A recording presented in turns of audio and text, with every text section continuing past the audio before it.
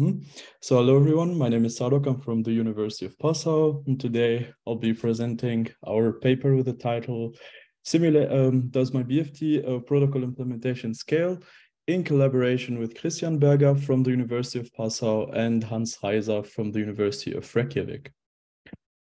So in the recent years, the application of distributed ledger technology outside of the cryptocurrency sphere has renewed interest in the Byzantine fault tolerant uh, state machine replication protocols, as they offer the same resilience as the still widely used proof of work, while being uh, much more performant. However, these protocols were designed to be used in much, much smaller scales. And as a consequence, modern research focuses on enhancing the scalability or tuning the performance under geographic dispersion. So during the development and testing phases of these protocols, they are tested rigorously under various scenarios in order to ensure that they meet the needs of their newly envisioned domain of application. So developers would commonly use uh, a test network for this. However, one can use simulations. Uh, these, uh, these are um, much cheaper. They offer much more flexibility and they offer also precise control over the simulation environment. And in many cases, they offer us also perfect reproducibility of the results. So our goals in this paper is to study the cost-friendly simulations as an approach to evaluate and validate BFT-SMR protocol implementations at scale. So uh, this would involve a best effort simulation of realistic scenarios in order to better understand the constraints and also using simulations as a means to reason about how different factors affect performance. So we would also like to take the opportunity to compare different BFT protocols with each other using our simulations. So we have formulated the following research questions for our work. So the first one being, what are the properties of an ideal evaluation tool for the blockchain generation of BFT protocols? And the second one being, can simulations help us reason about the behavior of real BFT protocol implementations at scale? So using previous works, we have compiled a list of properties that, in our opinion, an ideal simulator in this context should exhibit. So the first one being application layer realism. And what this means is that we would like to have no re-implementation effort involved and we do not like to use abstractions. So BFT SMR protocols are already hard enough to implement and any re-implementation runs the risk of introducing bugs. So uh, secondly, we'd like to have realistic networking. Uh, what we mean is that we want to be able to specify several networking aspects such as latency, uh, bandwidth, and so on. We would also like to be able to simulate a large number of nodes, hence we require scalability we would like our uh, simulator to be resource friendly and to offer us control over the simulation environment and have our results reproducible across hosts. So lastly, we would like to have attacker facilities in order to be able to conduct attacks on our protocols. So we have conducted a survey of state-of-the-art tools, and we have noticed that uh, there are trade-offs uh, here, either by requiring some re-implementation effort or some expensive resources by using pure, uh, pure emulators. So now we take a look at Phantom. So Phantom is, in our opinion, an ideal uh, simulator for this context. It fulfills all of our requirements except for attacker facilities, but we can always extend it later on. So Phantom is a hybrid simulator. So it runs in virtual time, completely decoupled from our real time, and it simulates uh, system facilities such as time and sockets using lightweight implementations. And it executes real code and uses system call interception techniques in order to plug the protocols in this simulator. So um, we have noticed that running phantom simulations can be relatively tedious. There are many steps to this. So one would first need to generate a phantom config to specify the virtual hosts and then generate the phantom network specification. And this is essentially a network graph containing all of the nodes uh, with the host bandwidth, the interhost latencies, and packet loss. Uh, we would then have to build the protocol binaries and generate the artifacts and pass the appropriate arguments. Then we would start the simulation at last and monitor the resource usage.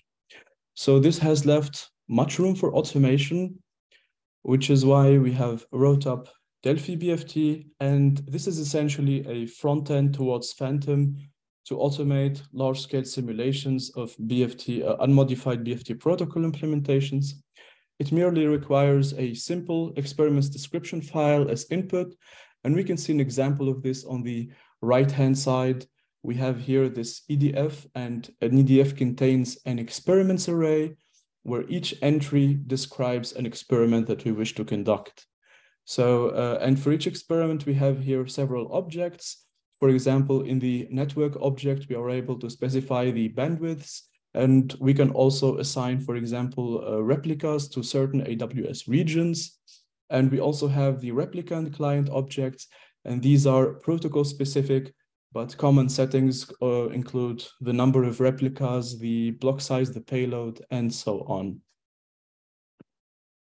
So the structure of Delphi BFT is relatively simple. At the center of everything, we have the orchestrator, which is a manager entity towards all the other components. We have the environment generator, which is responsible for uh, generating the phantom config and the network specification.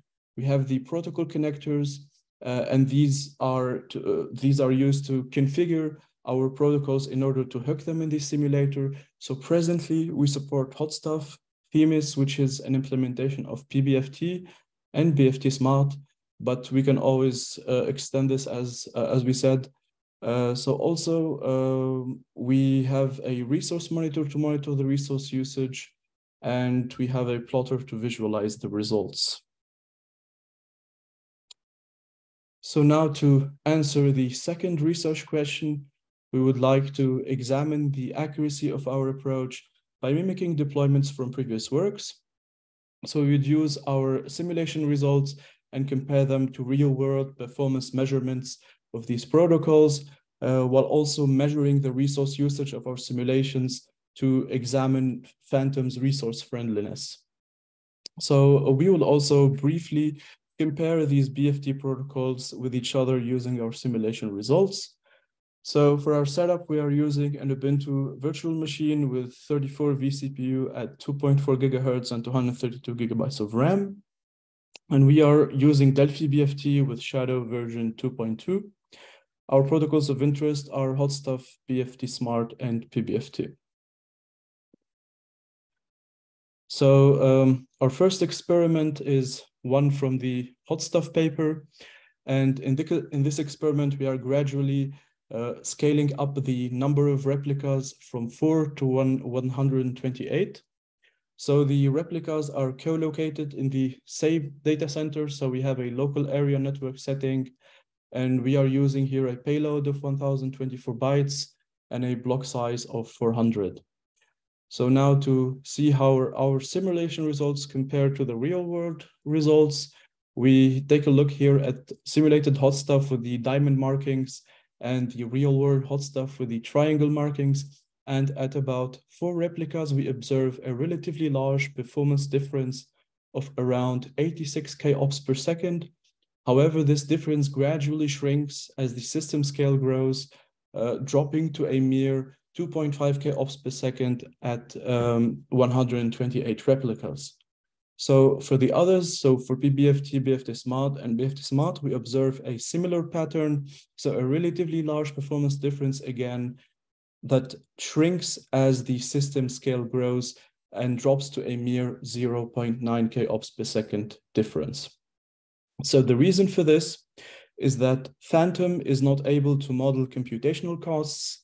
And at this uh, at these small scales, these computational costs play a large role in dictating performance. However, as the system scale grows, the performance becomes dictated by the underlying network, and this is where Phantom becomes accurate, very accurate, actually. So um, now for a brief comparison, we notice that at this small scale, PBFT outperforms the other protocols, but it, its throughput drops swiftly as the system scale grows, as it is relatively bandwidth hungry compared to HotStuff, and HotStuff outperforms all protocols at the end. Uh, so it is also worth noting that PBFT and BFT Smart achieve a nearly identical uh, performance at scale, and this is because of their very similar transaction patterns. So um, next up, we are conducting a simulation of uh, BFT Smart in a highly dispersed environment. So in this setting, we are operating replicas in Oregon, Ireland, Sao Paulo, and Sydney. And we are also operating a client in each of these regions that we use to measure the end-to-end -end latency. So uh, taking a look at the results, we observe that for the simulated settings, uh, the latency is somewhat higher than the real world settings, but this is not too dramatic. So for the end-to-end -end latency, we have an average deviation of 2.5%. And for the consensus latency, we have an, uh, a deviate, uh, so a difference of a mere 12 milliseconds. So now to conclude our presentation, so we have seen that state-of-the-art tools have made some trade-offs, either by requiring some re-implementation effort or expensive resources for large experiments. Uh, we have presented Delphi BFT, which acts as a front end towards Phantom to automate large-scale uh, simulations of unmodified BFT protocol implementations. Uh, and we have seen that we can faithfully predict the performance of these protocols once it is dictated by the underlying network. And this is eventually the case as the system scale grows. But in cases where we use empty payloads or where the system scales are somewhat small, uh, Phantom is somewhat inaccurate due to the computational costs not being captured. This is, however, uh, this should change in the near future. There is some work being done in this context. So lastly, please check out our paper and our code on the GitHub repository. Otherwise, that was it from my side and giving back to you.